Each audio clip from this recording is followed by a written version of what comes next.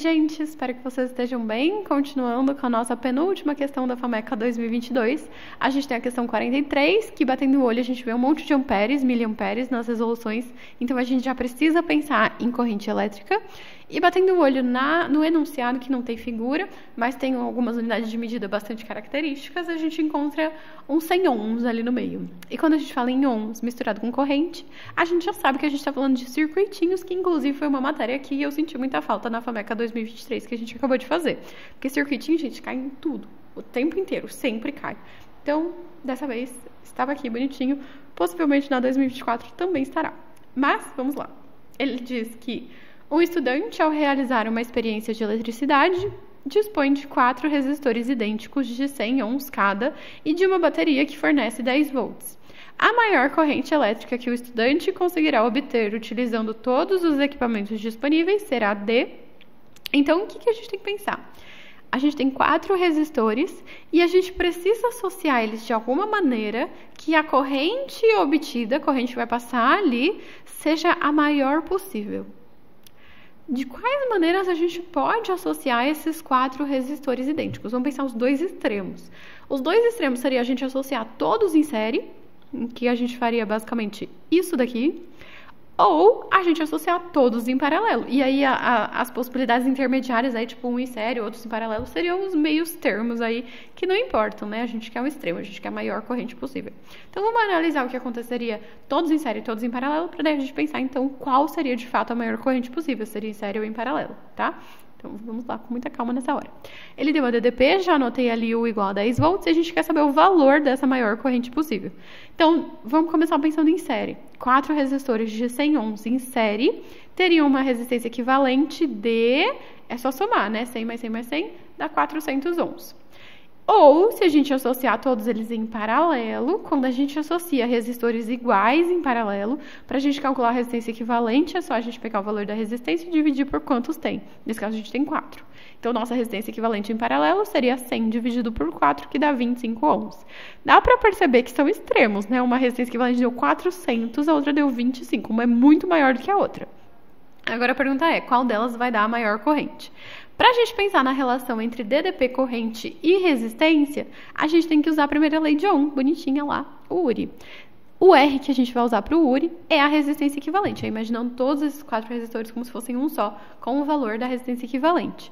Então o U não vai mudar, a gente está ligando eles em todas as situações a 10 volts, mas o R está sendo diferente e dependendo do valor do R, o I vai ser influenciado. A gente quer o maior I possível. Para que a gente tenha o maior I possível, qual R a gente vai precisar usar? Lembrando que U igual RI, então R vezes I tem que ser igual ao mesmo valor, mesmo que a gente mude o R. Para a gente poder analisar isso, eu fiz um, um pequeno exemplo para vocês entenderem por que, que essas grandezas são inversamente proporcionais. Então, imagina um número aleatório. Imagina que 1 fosse 20. A gente precisa que o resultado da multiplicação dê 20, certo? Qual exemplo de número a gente tem? Pensa num número qualquer, assim, tipo 10 vezes 2. 10 vezes 2 dá 20. Se eu aumentar um dos nossos números, então se eu transformar o 2 em um 4, eu aumentei esse número que está multiplicando. O que eu tenho que fazer com o outro número para continuar dando o mesmo resultado? Eu tenho que diminuir ele, porque continua dando o mesmo resultado.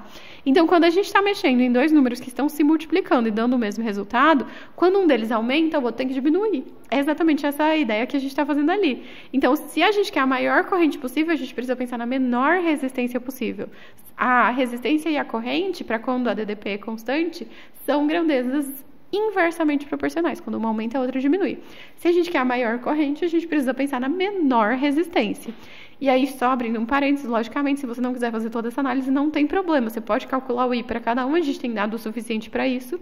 E aí você ia ver lá qual era o menor I de fato. Então, só estou aproveitando para inserir um pensamento diferenciado aqui. E se você tivesse pensado nisso no começo, você nem ia precisar ter feito essas duas coisas aqui, ó. Porque a gente já sabe que em paralelo a gente vai ter a menor resistência. Então, aí nem precisava ter feito aquela parte de cima ali. Mas tudo bem, valeu a, a, revisão. Então agora a gente vai usar o 25, que a gente já viu que é a menor resistência para dar a maior corrente. Vou substituir aqui no URI, já não vou usar mais o lado de lá, então posso ocupar aquele espaço. Então vou trocar os valores, o U é 10, o R é 25 e o I é o que a gente quer saber. inverter os lados, 25 igual a 10, vou passar o 25 dividindo, e igual a 10 dividido por 25, cuidado para não passar ao contrário nesse momento, gente, tem um 25 ali nas alternativas, ó, cuidado. E posso simplificar por 5 em cima e embaixo, 10 dividido por 5 é 2, 25 dividido por 5 é 5, 2 dividido por 5 é 0, e aí vai um 0 lá em cima, vai ficar 20 na borda do 5, que é 4. Então, nossa corrente dá 0,4 amperes não temos essa opção, porque todas as nossas respostas estão em miliamperes.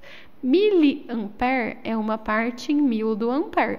Então, cada ampere corresponde a mil miliamperes. Então, para a gente transformar de ampere para miliampere, é só a gente multiplicar por mil. 0,4 vezes mil dá 400. Então, a gente tem a alternativa A, que diz exatamente 400 miliamperes. E essa é a nossa resposta. E assim terminamos o nosso penúltimo exercício da FAMECA 2022. E logo, logo a gente volta com o último exercício. Inscreva-se no canal para você não perder quando sair esse último exercício. E aproveite e dá um joinha no vídeo, caso você tenha gostado dessa questão ou dessa resolução mais precisamente. Tchau, tchau, se cuidem e até a próxima.